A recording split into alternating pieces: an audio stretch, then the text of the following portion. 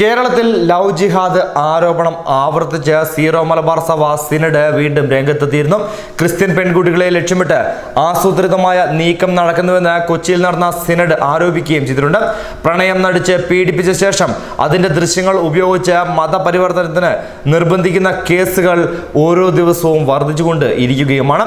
Love ജിഹാദിനെതിരെ വ്യാപകമായി ഉണ്ടായിക്കൊണ്ടിരിക്കുന്ന ഗൗരവമേറിയ പരാതികളിന്മേൽ കർശന നടപടി സ്വീകരിക്കണമെന്ന സീറോ മലബാർ സഭ സിനഡിന്റെ ആവശ്യം സ്വാഗതാർഹമാണെന്നാണ് ബി ജെ പി മുൻ സംസ്ഥാന പ്രസിഡന്റ് കുമ്മനം രാജശേഖരൻ ആവശ്യപ്പെട്ടിരിക്കുന്നത്.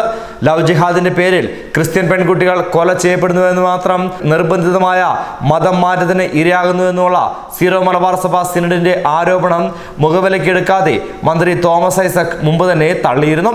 കേരളത്തിൽ നിന്ന് ഐ എസിലേക്ക് റിക്രൂട്ട് ചെയ്യപ്പെട്ട ഇരുപത്തിയൊന്ന് പേരിൽ പകുതിയും മതം മാറിയ ക്രൈസ്തവരാണ് എന്നുള്ളതാണ് ഏറെ പ്രത്യേകതയുള്ള കാര്യം. ഇത് സംബന്ധിച്ച പരാതികളിലൊന്നും പോലീസ് ജാഗ്രതയോടെ യഥാസമയം നടപടിയെടുത്തില്ലെന്നും സഭ കുറ്റപ്പെടുത്തി.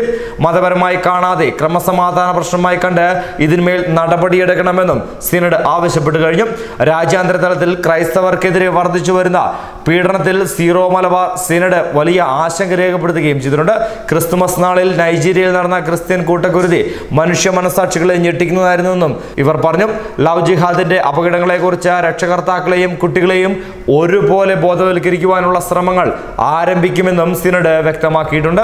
എന്നാൽ കോൺഗ്രസ് സി പി എം ജിഹാദി കൂട്ടുകെട്ടാണ് ലവ് ജിഹാദികൾക്ക് പ്രേരണയും പ്രചോദനവും നൽകുന്നുവെന്ന് കുമ്മനം ആരോപിക്കുകയും ചെയ്തിട്ടുണ്ട്.